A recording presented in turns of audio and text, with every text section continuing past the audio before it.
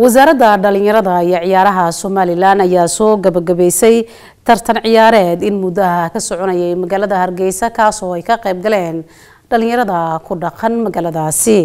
Waryaheena axmed daahir nuux ayaa mar kale warbixintan hargeysa ka soo diray wasiirka wasaaradda ciyaaraha iyo dhalinyarada somalilan mudane boos miro oo wehelinayo la taliyaha wasiirka xasan waraab cadde ayaa soo gebagabeeyey tartan ciyaareed in muddaahba ka socday garoonka xawaadle ee magaalada hargeysa. Koobkani oo loogu talagalay isdhexgalka dhalinyarada ee xaafadda lix iyo labaatanka juun ayaa waxaa isugu soo baxay labada kooxood oo wada ciyaarayay ciyaarta faynalka ah kuna kala ciyaarayay kooxda f c carwo sadaam iyo kooxda shube. Waxaana ugu horeyn halkaasi ka hadlay wasiirka wasaaradda dhalinyarada iyo ciyaaraha mudane boos mire maxamed iyo la taliyaha wasiirka xasan waraab cadde iyo kabtanada labada kooxood ee wada ciyaarayey waxaynu joognaa maanta inaynu ciyaarta finalka labadan kooxood ee shubayaasha iyo hay'adigaha hadwaadle finalkii inaynu koobka kala siino ciyaartu waxaynu ka doonayno in akhlaaq wanaag iyo jidhis iyo adaab iyo isdhexgal.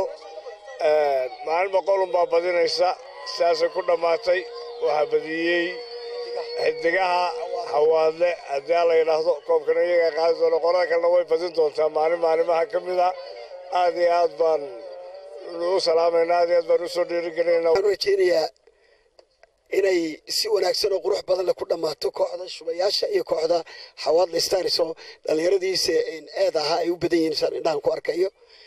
Waxaana jeclahay inay ciyaar wanaagsan ciyaaraan oo dadweynahana raalligelisa anagana raalligeliya ugu talagalnay inaan ku sogotino rogcadaagayga weyn ee la yidhaahdo cabdiriyaad abshir cabdi oo in badan kubadda cagta ku soo dhex jiray. Koobkan maanta waxaan kaga faa'idaysanaynaa inaan inaan isaga uga dhigno sogootin aan ku sogootinayno markii koowaad iyo markii labaadna maaha ee ay final ciyaaraan iyaga laftirkoogu. Annaguna runtii maaha markii koowaad iyo markii labaad final ciyaarno. Waxaan u malaynayaa in kooxa waaye araga ay labada kooxood yihiin. Markii ay soo dhammaatay sagaashanka daqiiqo ee loogu talagalay ciyaartani ayaa waxaa guulaysatay kooxda carwa sadaam halkaasi oo uu ku guddoonsiiyey koobka wasiirka wasaaradda ciyaaraha iyo dhalinyarada somalilan mudane boos mire maxamed